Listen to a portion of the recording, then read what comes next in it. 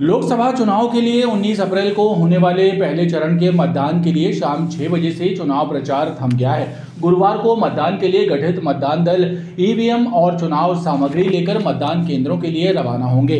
इस बीच बुधवार को जिला निर्वाचन अधिकारी दीपक कुमार सक्सेना की उपस्थिति में जवाहरलाल नेहरू कृषि विश्वविद्यालय परिसर में चुनाव सामग्री वितरण कार्य की मॉक ड्रिल भी हुई, जिसमें मतदान कर्मी शामिल हुए। लोकसभा चुनाव के लिए जबलपुर लोकसभा संसदीय सीट पर 19 अप्रैल को पहले चरण में मतदान होना है। बुधवार की शाम 6 बजे से चुनाव प्रचार थम गया है। गुरुवार को मतदान के लिए गठित मतदान दलों को ईवीएम और चुनाव सामग्री का वितरण किया जाएगा।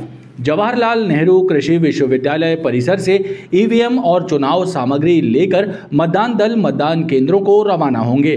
इस बीच बुधवार को जिला निर्वाचन अधिकारी एवं कलेक्टर दीपक कुमार सक्सेना की उपस्थिति में चुनाव सामग्री वितरण स्थल पर ईवीएम और चुनाव वितरण कार्य की मॉक ड्रिल आयोजित हुई, जिसमें मतदान सामग्री वितरण कार्य में लगे सभी कर्मचारियों के अलावा गठित मतदान दल शामिल हुए।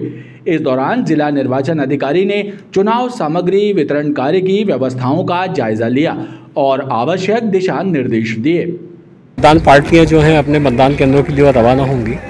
तो जिस तरीके से उनको सामग्री का वितरण किया जाना है और वापसी के समय फिर जिस तरीके से उनको सामग्री वापस लेना हो उनसे, उसमें जो लोग कर्मचारी लगे हुए हैं, उनकी क्या ड्यूटी रहेंगी, किस तरीके से काम करेंगे, उसका ही मॉक ड्रिल आयोजित किया गया है। इसमें उनको ट्रेनिंग दी जा रही है कि कल किस तरीके से सामग्री का वितरण करना है। मतदान दलों को गुरुवार की सुबह ईवीएम और चुनाव सामग्री वितरित की जाएगी। इसके लिए जवाहरलाल नेहरू कृषि विश्वविद्यालय से मतदान दल मतदान करने के लिए मतदान केंद्र रवाना होंगे और 19 अप्रैल को मतदान समाप्ति के बाद मतदान दल जवाहरलाल नेहरू कृषि विश्वविद्यालय में ही चुनाव सामग्री और ईवीएम जमा कराएँगे।